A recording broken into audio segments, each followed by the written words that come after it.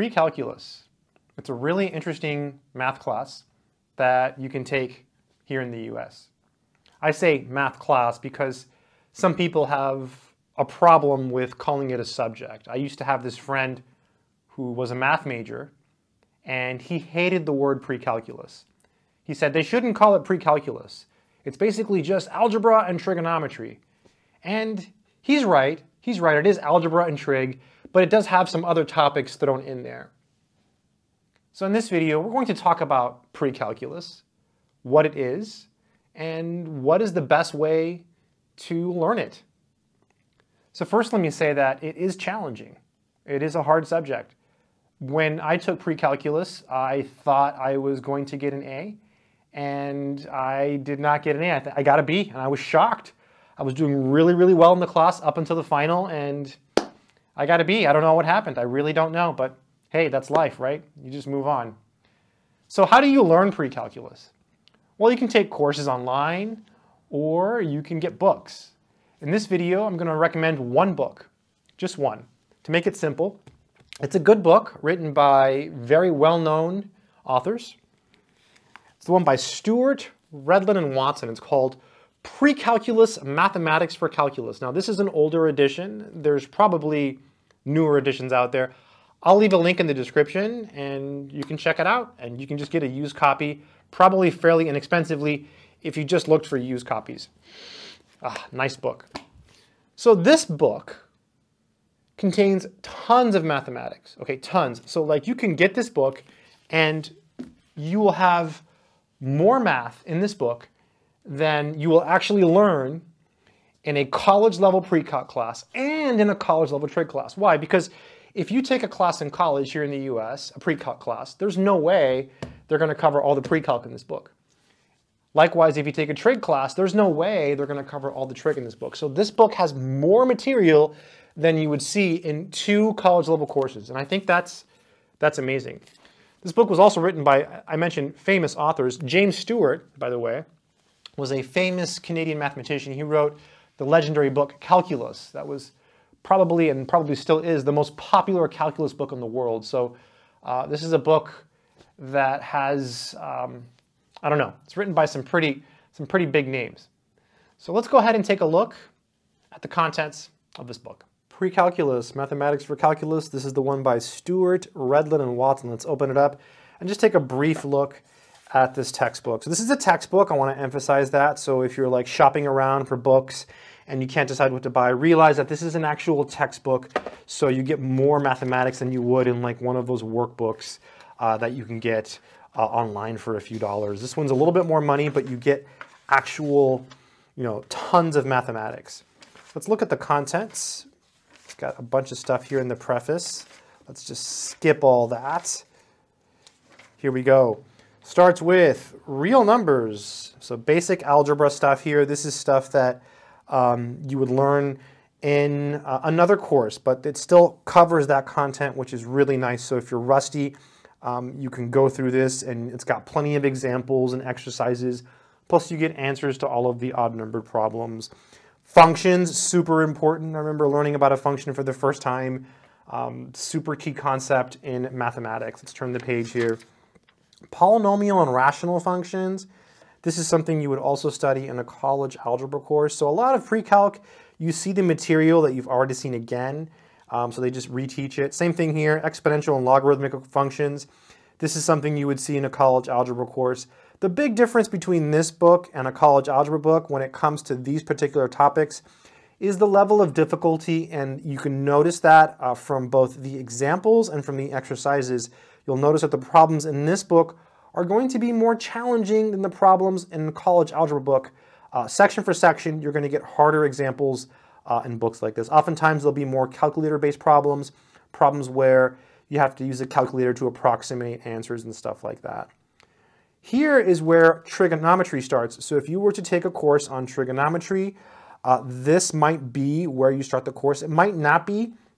It depends on um, your teacher in the book, but this book starts here. A lot of other trig uh, books would start here, trigonometric functions of angles. So this is uh, with real numbers. Here's the unit circle, and then here's with angles. So two different ways to start. And then you have analytic trigonometry. This is the identities, all the fun stuff, which I like, but a lot of people don't like. It takes a lot of effort uh, to get good at this. Some people like it, some people don't like it. I was always in the group of people that liked it. Systems of equations and inequalities. This, again, is another pre-calc topic, but also covered in college algebra. Topics in analytic geometry. This is something that's pretty much uh, exclusively taught in pre-calculus. Now, the parabolas are also taught in college algebra, but here you see them from a different perspective. You look at uh, parabolas that open left and right, uh, in addition to the ones that open up and down. So it's a little more in-depth, which goes along with everything we talked about for the other sections which are common to other courses. So it's a more in-depth look at the algebra, and then it has some trig. Sequences and series, again, this is something that, again, is exclusive to a pre-calc course typically, not typically covered in an algebra course. Counting and probability, this is a section that oftentimes is not taught or overlooked. So if you take pre-calc in college, your teacher may or may not teach this. I've taught it sometimes, and sometimes I haven't. I love this stuff, so I've probably taught it quite a bit. Uh, the probability I usually don't cover just because of time constraints, right? There's only so many uh, minutes in the classroom, and you just really have to cover what you can, right? But it's really fun stuff. And then this is an interesting chapter that's not found in other books that is found in this one. So many other books don't have this. It's limits, a preview of calculus. So this kind of gives you um, an insight into calculus. And then you have answers to the odd numbered exercises and chapter tests. And here's just an example of one of the sections that I randomly opened to. So you see it's a very modern book with a modern layout. It uses different colors. It has the solutions and it shows all the steps.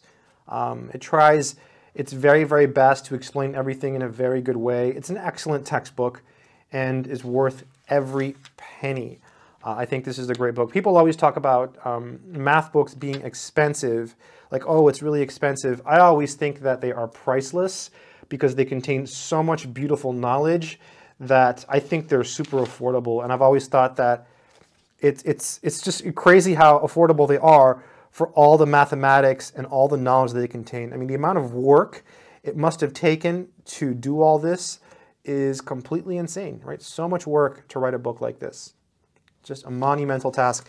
And here you can see you have tons of exercises here where you can practice your skills.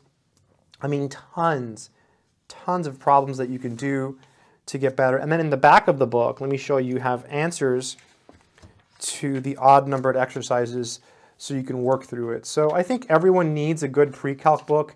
If you have to choose one, this is a pretty good choice. There's other ones. Uh, what's the best pre-calc book? I'm not going to pick favorites, but I think this is one of the best ones out there.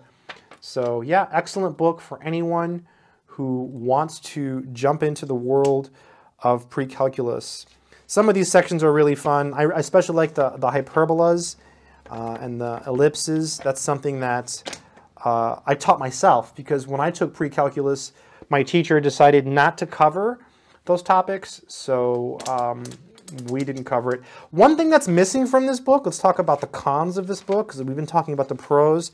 So I noticed in the contents, let's go back to the contents, there is some stuff missing here. I didn't see, I didn't see it. I didn't see uh, any, oh yeah, here it is, here it is, here it is, here it is matrices. Here we go. Yeah, algebra of matrices. Yeah, so it does have uh, matrix stuff. So I was going to say that when I took pre-calc, we did the matrix stuff, but we skipped the conic sections. So we skipped uh, this stuff. But uh, when I when I've taught the class in the past, I cover both. Definitely cover all this material. So matrices, inverse of a matrix. So you do get determinants and Cramer's rule. So you do get a little bit of linear algebra here, and partial fractions. That's a key technique used in calculus, in particular in calculus 2. So great mathematics in this book.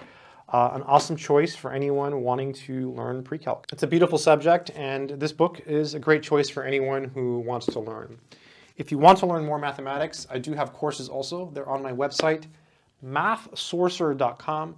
My courses are actually on the Udemy platform, but if you decide you want to check out my courses, please use the links from my website mathsorcerer.com. It helps me also. I lowered the prices to make them as low as possible, so I'm pretty sure you'll get a low price if you use my links. If you're not a subscriber and you feel like you found any value in this content, consider hitting that subscribe button today. Pre-calc is hard, trig is hard, math is hard. It's going to take time, There's no like secret weapon that will make you good at it. But, but I do think that this is a very, very good book. And it's one of the Stewart books, right? Stewart was a legendary mathematician. Also, Redlin and Watson, they've written a lot of books, but I'm, I'm just hung up on James Stewart because his calculus book is, I mean, it's not perfect. It's not perfect, but uh, it's one that I've spent a lot of time uh, going over. So yeah, until next time, good luck. Keep doing mathematics.